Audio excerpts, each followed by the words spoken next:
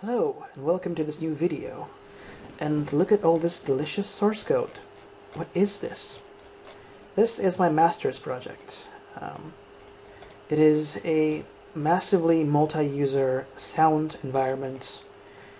It's kind of, it's not a game, it allows you to connect with other users um, in, this, in this online space and, and build sonic sound generating structures from a bunch of building blocks.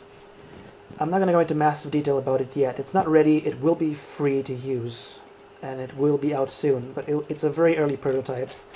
Can't do very much, but it kind of proves proves the concept. It's got some very uh, simple functionality for now. But yes, you can it you can go online with a bunch of other users and kind of build some interesting sounds as it is. And actually, I just wanted to do a demo of the granular synthesis implementation I have in it that kind of allows you to build these granular clouds together with people. I'm just going to log in with my generic user details here. So now I'm connected. There's nobody else here, but if there was anyone else here, they could see basically everything that I build in here and interact with the things that I've made. And here's what I could make. Grains, bloops, samples, and wavefront. Grains are, as the name probably suggests, granular synthesis grains. Bloops are kind of harmonics or sine waves with an envelope attached to them. Samples are samples. And wavefronts I'm going to demonstrate now. If I put a wavefront down,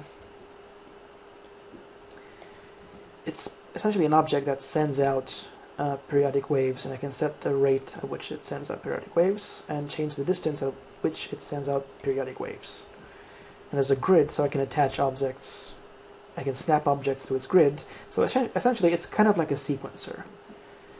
Uh, so for example if I was to put a bloop here. I'm trying to speed up a bit. It triggers the bloop once the wavefront reaches it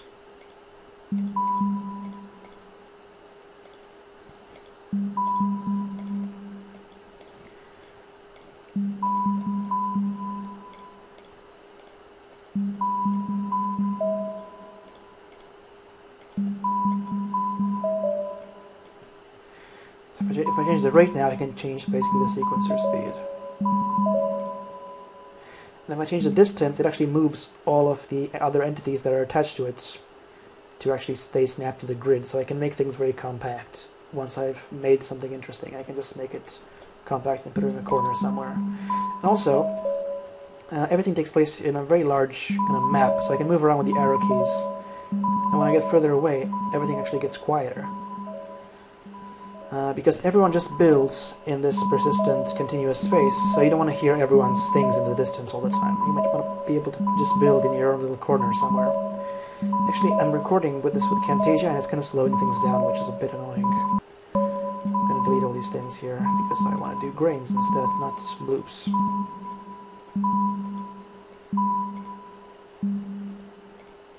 So I'm going to expand this and slow it down a bit and I'm going to add a grain. I only have two files that granulate so far, but I will prepare more for the released version. So you can see essentially when the wave reaches um, well the vicinity of the grain, it starts playing it. And I can sequence grains to build up some interesting soundscapes.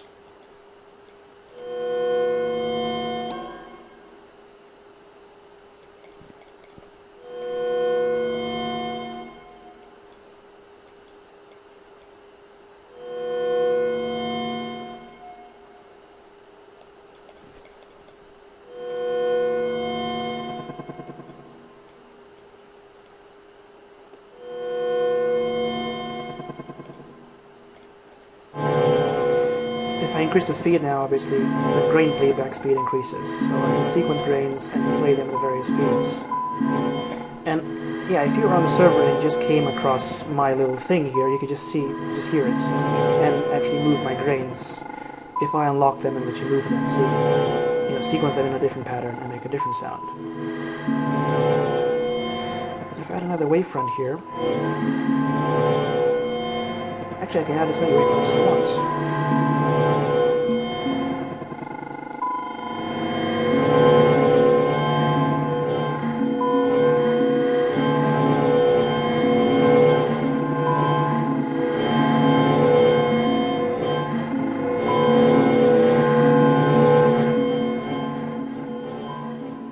It kind of attenuates with distance, so I can you know start building in another place without hearing my original thing.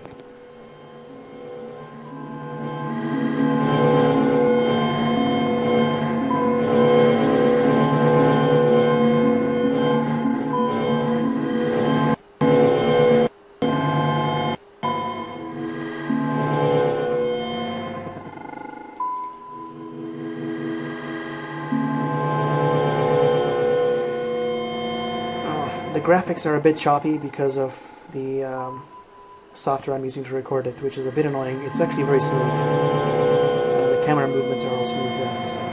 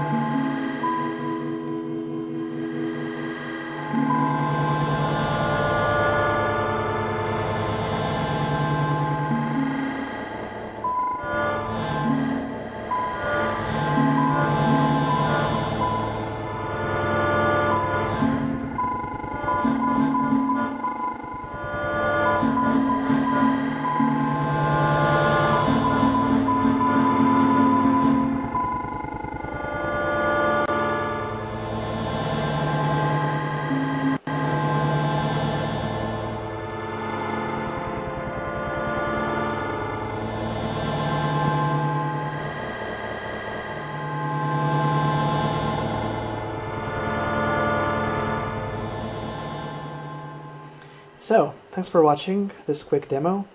The software will be out fairly soon. I have to iron out a couple of bugs. It will have it will have bugs when it's out because well I'm releasing it to test it. So um, I, I need to test it for my dissertation. By the way, there's also a chatting service, so users can chat with each other and stuff. Uh, yeah, I'm hoping to do a demo soon that involves other users as well. So stay tuned for that, and I'll probably have more features as well. Thanks for watching. Bye.